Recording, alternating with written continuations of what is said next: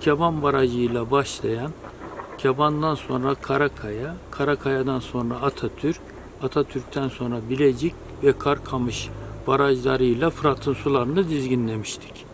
Şimdi Dicle'nin sularını dizginliyoruz. Bu bizim için çok stratejik bir proje. Türkiye Cumhuriyeti'nin en önemli projelerinden birisi ve Dicle'yi de bu barajla beraber dizginlemiş olacağız. Ülkemize büyük bir enerji katkısı sunacak büyük bir barajın eee, inşallah başarıyla tamamladık.